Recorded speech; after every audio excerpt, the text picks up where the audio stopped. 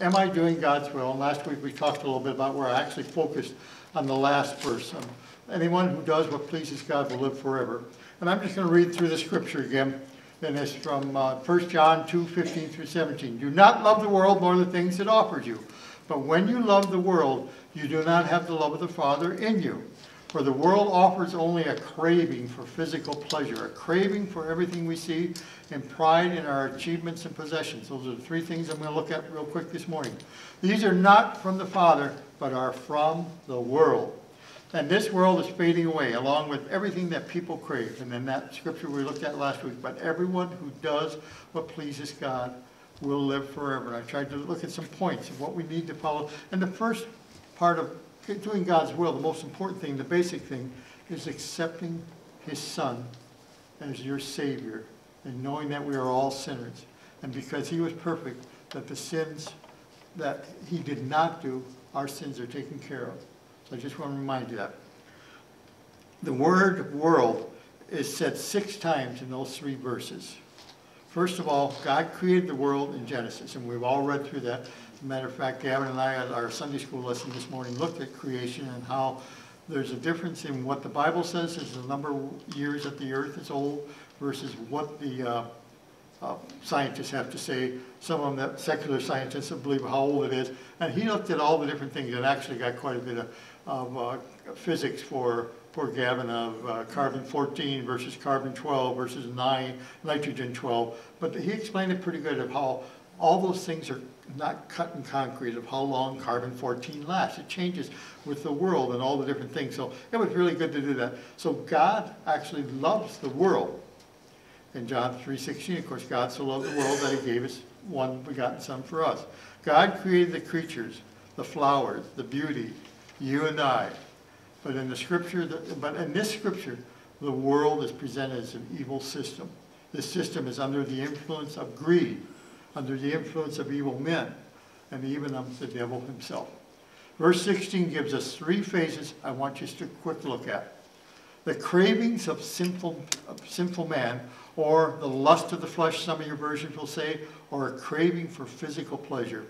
These all are ways of saying this principle of worldliness from which the love of the world flows.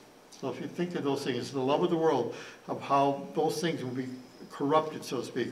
Flesh has a tendency to selfishly pursue matters that want to satisfy our own flesh, our own desires.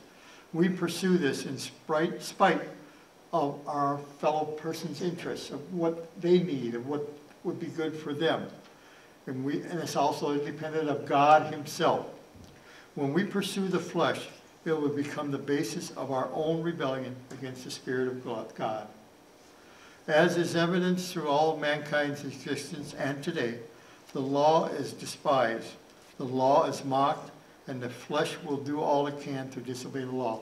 And most of you probably have heard people take the law and twist it, and they take it out of context. That hasn't just been going on today. It's been going on before. I think of the one that started in World War II. He used that a fair amount too. So it's something that's done, and that's the flesh getting involved because he wants to satisfy the readings and the writings of the scripture to his way of looking at it. When the flesh overdoes things, it changes honorable tasks and pursuits into materialism.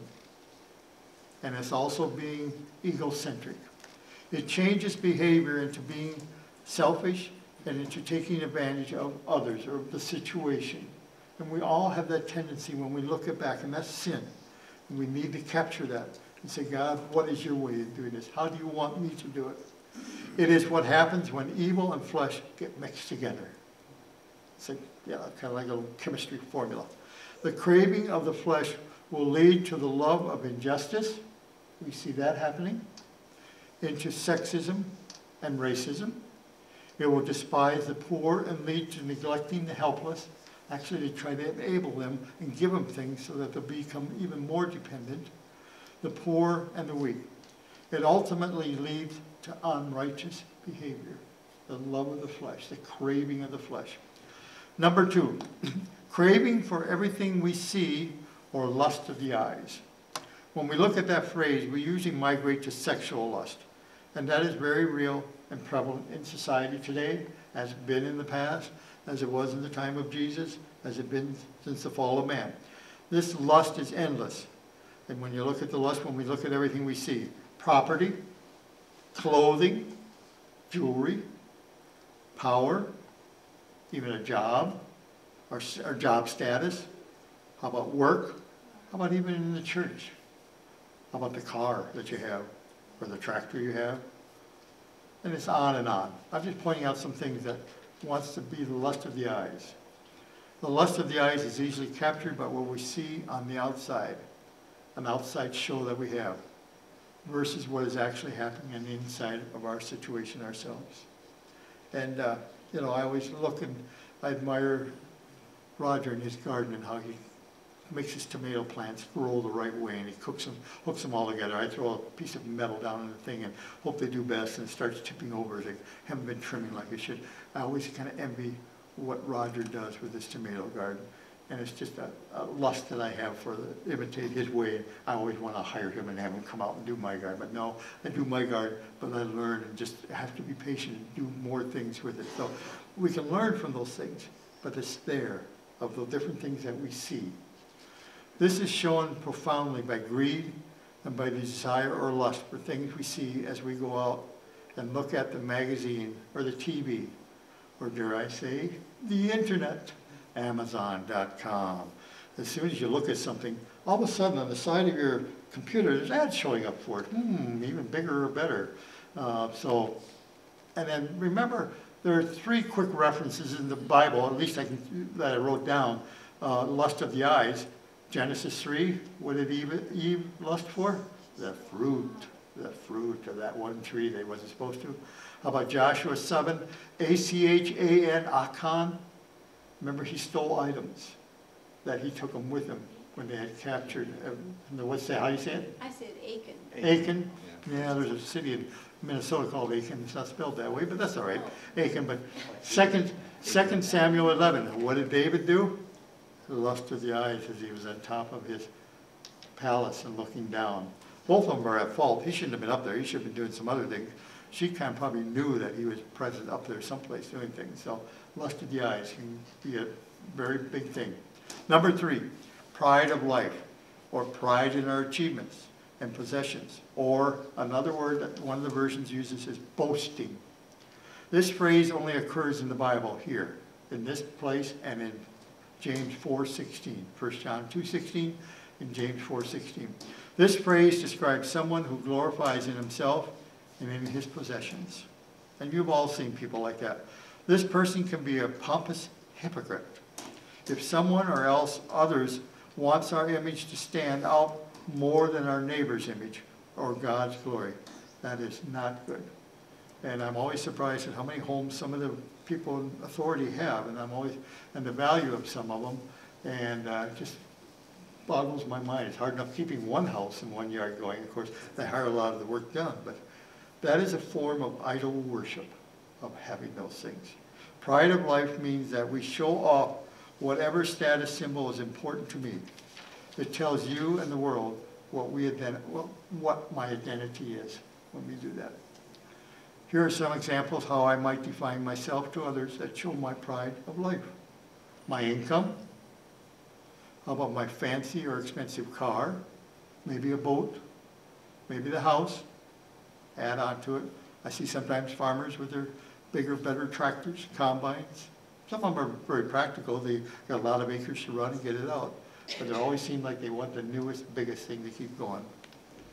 How about uh, the number of good books that my bookshelves have on there that maybe I've read some of them, maybe they're just there, I ordered them, got them, oh, ah, never got time to read them. How about even the reputation of the church that I attend? That can be one. How about my degrees and my grades and my awards that I got? When I do these things, I have succumbed to the pride of life. I am misrepresenting the truth and not bringing glory to the one who created all that we see. And verse 17 summarizes the previous verses this way. All of the vanity, all the displays of this evil world with all of its devices is passing away and dying. The things of the world has already begun to rot and smell.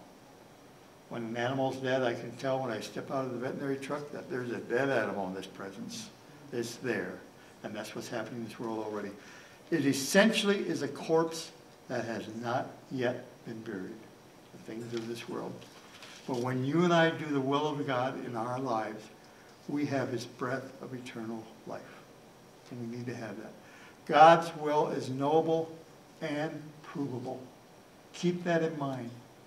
It's provable through the scripture, through the word of God. If you say something, you make sure you read it in context and proclaim it according to God's word. Romans 12, 2. Don't copy the behavior and customs of the world, but let God transform you into a new person by changing the way you think. Then you will know what God wants you to do, and you will know how good and pleasing, and we sang the song this morning, and perfect his will really is. Perfect. And I've got two scriptures I added since I did this, and you can write them in your thing.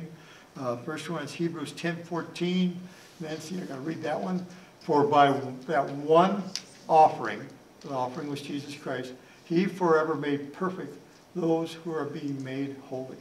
That's you and I. When we accept Jesus Christ into our lives, he's the one that's made the offering for us. Note the word perfect. This verse does not say God made it better or made us better. God didn't say, he enhances my life. He enhances me. But what he actually does he completes us. He makes us complete through Jesus Christ. And the reality is that we will stand, we will still stumble, and I do that. And we will at times make an error. Sometimes we do something that we said we weren't going to do. But that part of us is being made holy, as the scripture says. As we learn, as we grow, and we accept Jesus, and we repent. That's what we have to do when we do something wrong, and it comes back to us and says, oh, I didn't do it quite the right way. And I repent. Lord, I want, I want you to be, I want to listen to your spirit the next time I do it.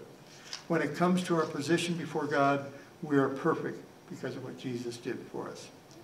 Perfect gift. When we place our trust in Jesus Christ, and God the Father sees us as perfect because Jesus is perfect.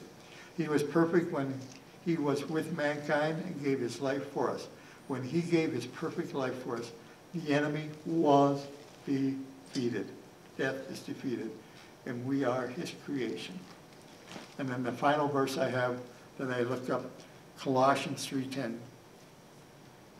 Put on your new nature and be renewed as you learn to know your Creator and become like him. It tells us that we are being made new and we are becoming like the one who made us, Jesus Christ. If you want to stand with me, we'll close with prayer. Lord, I thank you that we can follow your will. And as we follow your will, it's, it's proclaimed in your scriptures, in your word that you gave to us. So Lord, thank you for your word. And I pray that for each one of us as we go forth this day, from here forward, Lord, that we follow. Am I doing the will of God? Yes, I am. I'm not doing it perfectly, but I am going to make every effort that I can to follow his will, to do the things that he wants us to do. I am not pursuing the things of the world. Um, I am part of the world, and I'm in the world, but I'm not of the world. And I pray that for everyone here. Not be of the world. We do have to exist. We do have to be there. I'm not calling you to be a certain sect that uh, wears dark clothing. Nancy and I got to see that a couple weeks ago, and uh, don't have electricity, things like that, or they have electricity in the barn but not the house. That's kind of weird, but God is calling us to pursue what He has for us. So let the embrace of the Father be the comfort in your life. Let the name of your Son, Jesus Christ, be the one that you rely on. Let the presence of the Holy Spirit be with you every hour that you breathe on this earth. Let the three in one be the focus of all that is in you. Go in his peace in the name of the Father, Son, and Holy Spirit. Amen. You are dismissed. There's prayer for healing on the north side, and Charles and I are available afterwards.